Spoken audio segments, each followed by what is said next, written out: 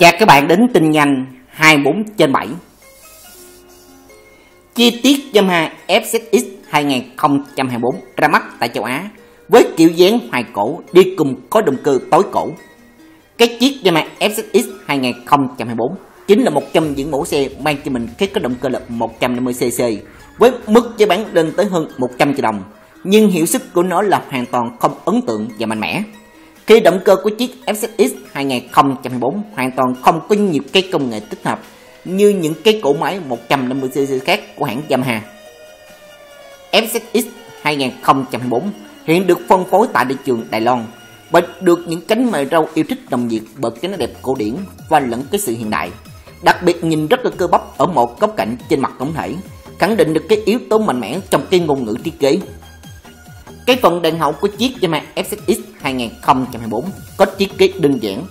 Xi trước sau nằm ở hình dạng giọt nước trong như cái phần xi của cái dòng là XL10 và những cái mẫu xe con tay khác của nhà Yamaha.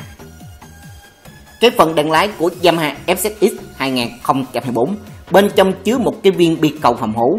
Xung quanh nó còn có cái dãy đèn định vị DL tăng cái độ nhận diện của cái mẫu xe này đối với những cái phương tiện di chuyển ngược chiều Yamaha FZX 2024 hiện đầy đủ những cái công an toàn về một cái mẫu xe đang số cho mình ở cái màn hình là LCD gồm có hệ thống kiểm lực kéo cho bánh sau TCS hệ thống chống bố cứng phanh ABS một kinh cho dàn chân trước.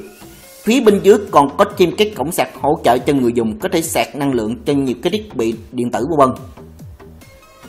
FZX 2024 đảm bảo an toàn người lái bằng một hệ thống thắng đĩa cho bánh trước và bánh sau với kích cỡ phần mâm và lớp lần lượt ở phía trước là 100 xịt 80 17 trong khi phía sau là 140 xịt 60 17 nói đôi chút động cơ của chiếc Yamaha FZX 2024 tuy có dung tích là 150cc tuy nhiên chỉ là là hai van giảm nhiệt bằng gió giống như cái mẫu xe Sirius FI hay phiên bản Jupiter chứ không phải là 4 van giảm nhiệt bằng nước mát.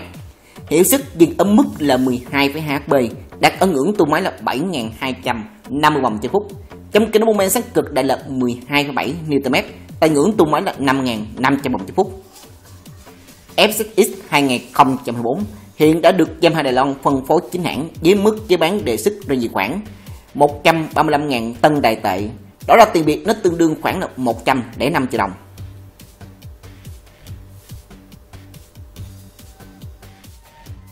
Cảm ơn các bạn theo dõi clip này. Hãy đăng ký tiếp nhớ like, share, subscribe.